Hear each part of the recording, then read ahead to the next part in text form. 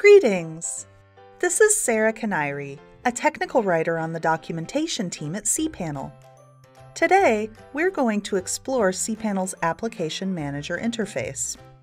This interface allows you to register, manage, and remove applications that you write.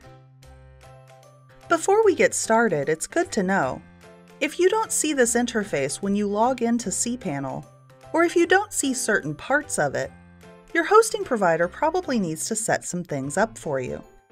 So, contact them first if you have issues, and they can check our documentation for the exact WHM settings they'll need. This feature uses the Phusion Passenger application server. Phusion Passenger functions as a process manager and a reverse proxy, providing operations tools to its users. This allows you to quickly launch and easily maintain your applications. So, let's go ahead and log into cPanel. And here we are in the cPanel Home interface. Let's navigate down to the Software section and click Application Manager. The Application Manager interface will appear. The first table that you see here displays all of your account's registered applications. I don't have any yet, so I'm going to create one. First, click Register Application. A new interface will appear. Enter a name for the application in the Application Name text box. Let's call this one My Application.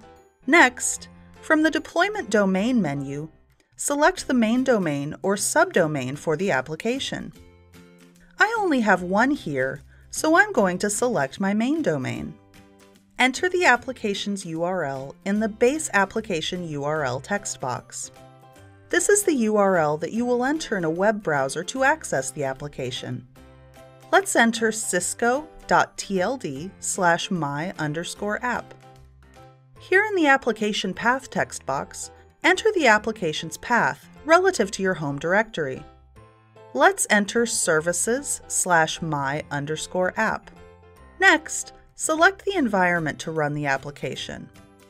Your application can run in a development environment or a production environment. Select Development if you're still actively working on your code. Select Production if you're done developing your application and are ready to deploy it. Now we're ready to add some environment variables. These are variable values that you can add to the system to help your application run. They aren't required, but they can be pretty useful. First, click Add Variable here. A new row of text boxes will appear.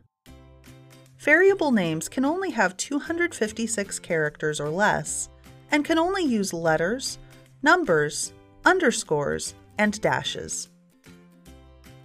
Enter a variable name here in the variable name text box. Next, enter a value for the environment variable in the value text box. Environment variable values can only contain 1024 or fewer ASCII printable characters.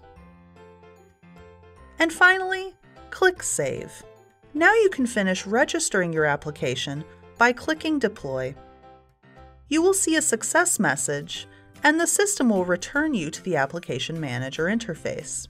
In the table right here, you can see our new application and some information about it. First, the name in the Name column.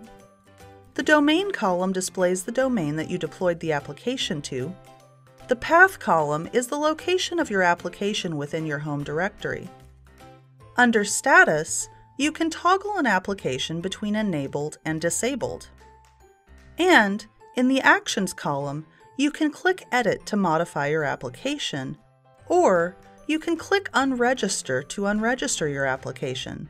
You might also see a third action, Ensure Dependencies, but that depends on your applications and your setup, so that's for another video. I want to make some quick changes, so let's click Edit.